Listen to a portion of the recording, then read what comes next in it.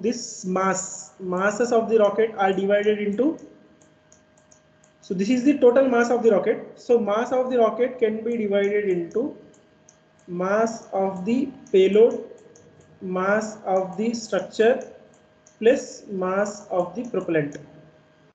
So these are the main three things which your rocket will include. For example if you consider this rocket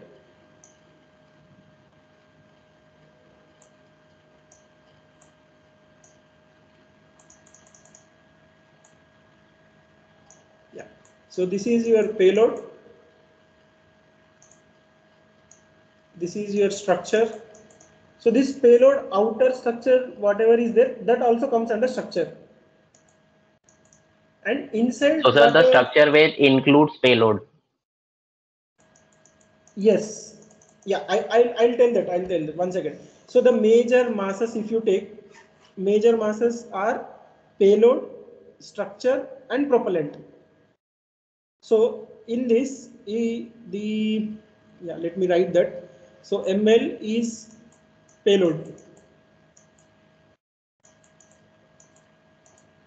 So this payload, what this payload will include, can you tell?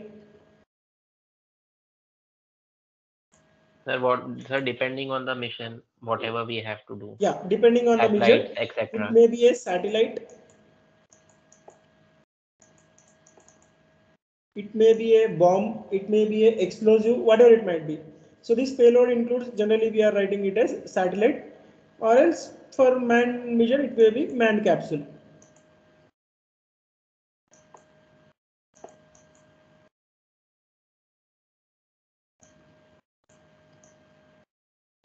Manned capsule and if it is a missile then it includes explosive. So I am writing etc here. So all this will come under payload. Now what is structure? So in structure, structure will consist of the machinery, whatever the engine machinery. So engine machinery means this this thing, uh, outer structure.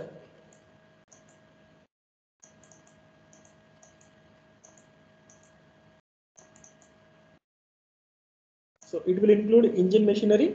It will include in liquid propulsion system if you consider so whatever the propellant which is there inside the tank, so that is the propellant, but the outside structure of the tank that also includes the structure that will also include in the structure. So that is propellant tanks.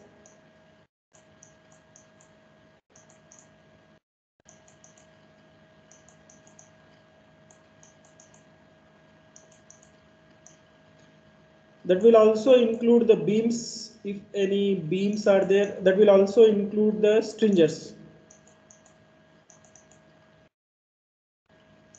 So this is like single stage. If you are considering two stages, for example, if you take a two stage system,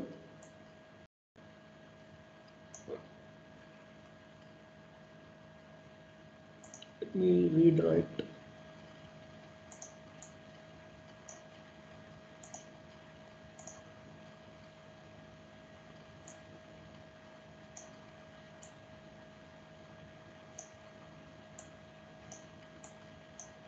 So there will be some structure. And after this again there will be a casing. And again you will have nozzle. And there will be a shroud. And here so to transfer the operations here you will have stringers everything. And top on this you will be having your payload. So now this is a two stage vehicle. So this is the stage one this is the stage 2 and this is the payload. And in between so in between stage 1 and stage 2 you have these things right? So these things are called as so according to this if you see he, these are the beams. These are the stringers these are called as closed interstages. Generally, these are called as closed interstages, CIS.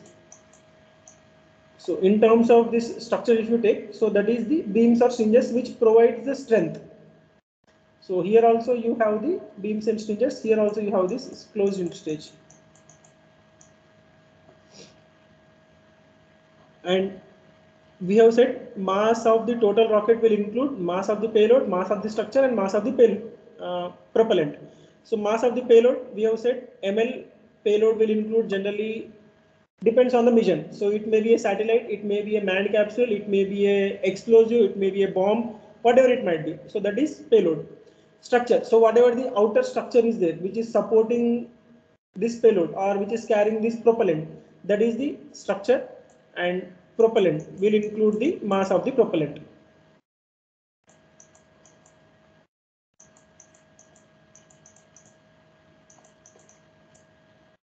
So generally that is the mass of the propellant.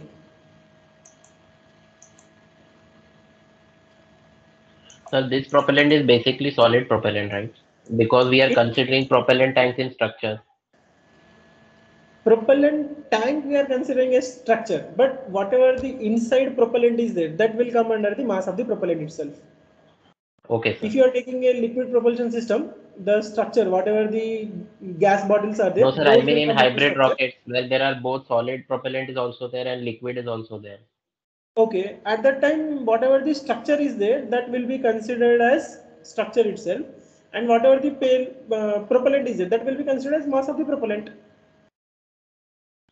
Okay, sir. If you are using, uh, I understood your question. If you are using solid propellant in the first stage, and if you are using liquid propellant in the second stage, so whatever the gas bottles, those things are there, those will be Yes, considered as structure. And Yes, sir. Like in shuttles, they use a solid rocket booster. So that we will consider in propellant, but the engine that will itself be- has a liquid propellant system. So What, that will come under saying. structure. Whatever the propellant it might be using, whatever the structure which is supporting that, that will come under structure, and whatever the propellant is there, that will be mass of the propellant. Yes, sir. So if you want to understand, just I'll show you some pictures and I'll explain you. Yeah. So if you see, so these are the different ISRO launch vehicles. So here, so this is the base shroud. So here you will be having the nozzle to support that nozzle. That nozzle should not get damaged. So for that, and this is at the base, right? So then generally we call it as base shroud. And so this is SLV vehicle, satellite launch vehicle, ASLV, augmented satellite launch vehicle, PSLV, polar satellite launch vehicle, and GSLV, so geostationary satellite launch vehicle. So in the in this we have different variants like this is MK2. See, it means Mark 2 and Mark 3. So these are the different variants. So in this satellite launch vehicle, if you see, it is a four-stage vehicle. So this is first stage, this is second stage, this is third stage, and this is fourth stage, and this is the payload.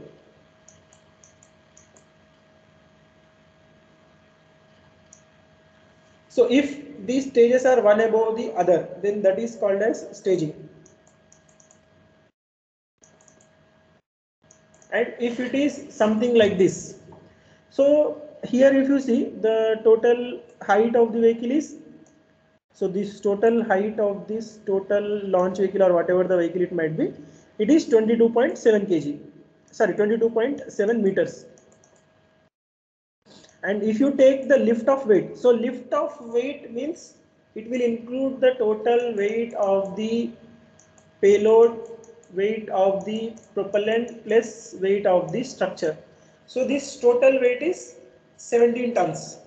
And the propulsion system which is used in this SLV vehicle is all are solids and the mass, payload mass. So this payload mass is 40 kg. So whatever is here, that is 40 kgs. And the orbit to which this satellite can launch a satellite, uh, this launch vehicle can launch a satellite is low Earth orbit. In a similar way, if you see this second second picture,